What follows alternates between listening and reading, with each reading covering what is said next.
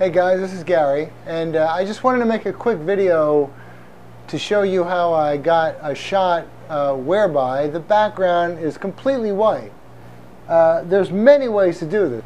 I'm not saying this is the only way. Um, there's a ton of ways to do it actually, but you know, this is a way that I did it. I was kind of pressed for time, so I used two uh, studio strobes, two monoblocks by uh, you know Paul C. Buff, uh, Einstein 640s. They're pretty powerful. So I've got a square softbox, and that's my backlight. It's also basically my background. So when the flash fires, it's going to be completely white. Uh, the the subject is this camera here, and um, uh, so I backlit it with a you know square softbox with diffusion material, and I have a beauty dish in the front to provide fill light.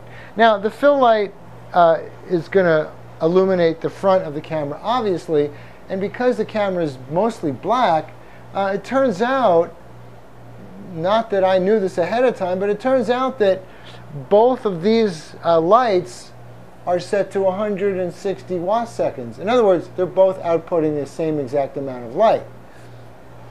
Now, um, this, this uh, beauty dish light is a little farther, not much, maybe six inches farther away than the backlight. Um, but, you know, I, didn't, I was kind of surprised. Anyway, let me just show you. All right, so as far as my camera, this is, this is, this is Cinnamon. She's my girl. Okay, so as far as my camera, I've got an exposure setting of 1 200th of a second, which is basically the maximum sync speed for this camera. Um, I've got f16 because I wanted to make sure that I had a large enough depth of field so the camera would be inside of that depth of field front to back.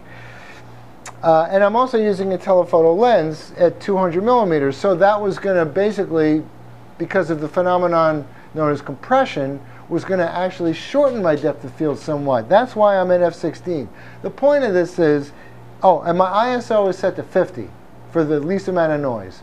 So the point of this is my ambient exposure without the flashes would produce a black frame. So this scene is entirely lit with flash, all right? That's pretty much the nuts and bolts of it. So it was just trial and error. All right, here we go. So I'm gonna have to go outside the frame because again, I'm shooting it with a long focal length. And here's the shot, right?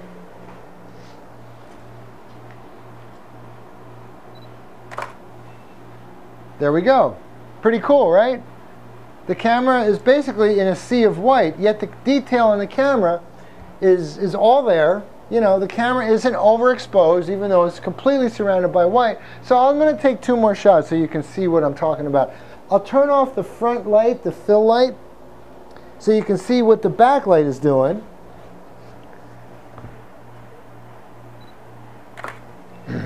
right, so now you got a silhouette. Now I'll turn on the fill light and I'll turn off the backlight and this will give you an idea uh, as to how the fill light is influencing the shot.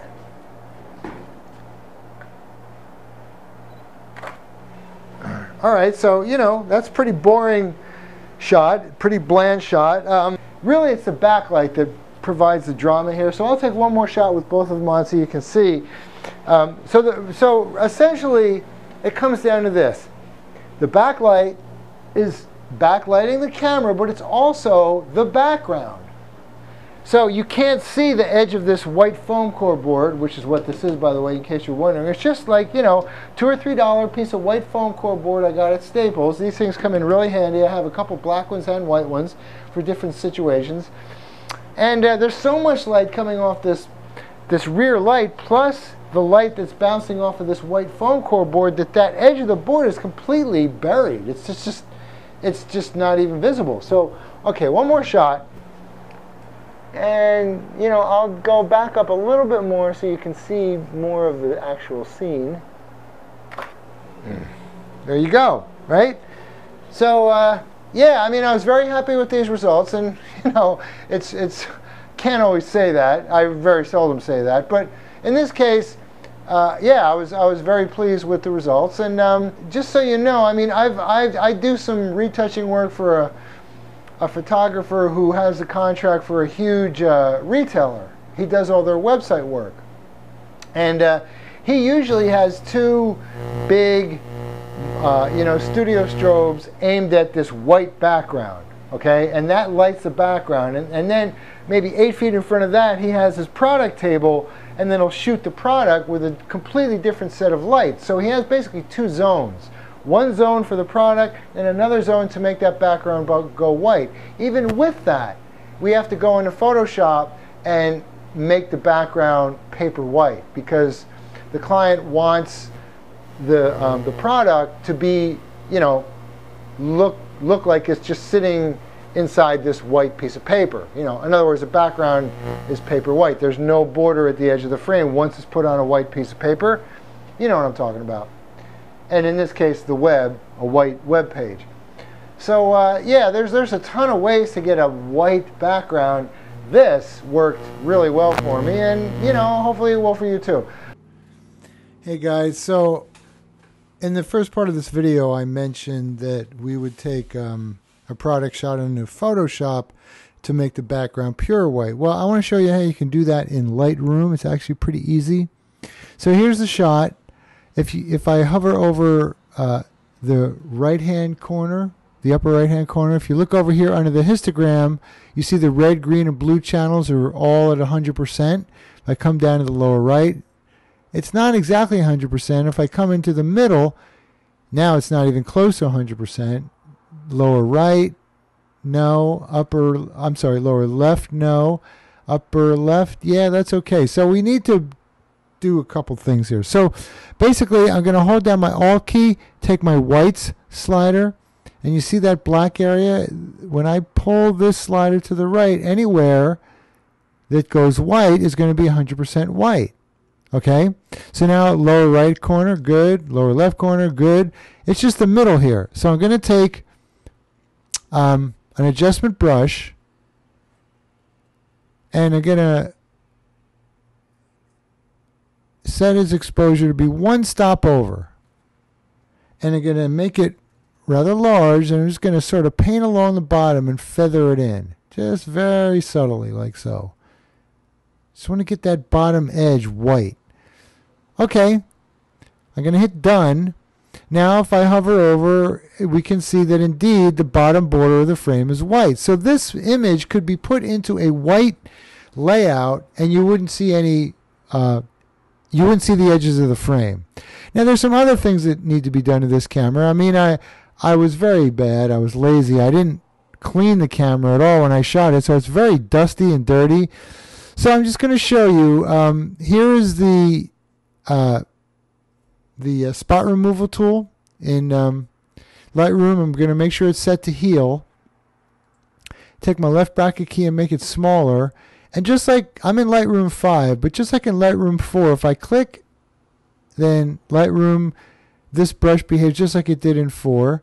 I can take all the spots out very easily and quickly, like so. Just keep going here. I'm not going to do the whole camera because it will take all day, but I wanted to show you, new in Lightroom 5 is the ability to paint in spot removalness, as it were. So, okay, and there's a little piece of dog hair here. Let me move this down here like this.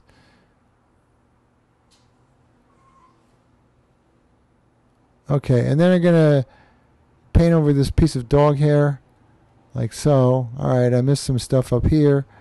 Okay, so you see how that works? Very cool. That's new in uh, Lightroom 5. So, uh, one last thing. I'm not again. I'm not going to do the whole camera because it'll take too long. One last thing. I'm just going to take and paint over here. This is an imperfection in the foam core board. Look at that. It's gone. So this new functionality that Adobe added to the spot removal brush is pretty cool. Um, well, all right, one last thing. I'm going to grab an adjustment brush and I'm going to lower the exposure by about a stop. Now this is a rubber lens hood and it's pretty dirty. So I'm just going to darken it by painting over it. Kind of hide the dirt a little bit. That looks a little better. I'm going to go new and this time I'm going to bump up my exposure by half a stop and just paint over here because I was losing detail here and in here on the lens barrel like so. So the cool thing about Lightroom is you can actually tweak different areas of the photograph. All right, I can get carried away, but I won't. So that's you know that's pretty cool. We're done, and um, making a background white. There you go. See you next time.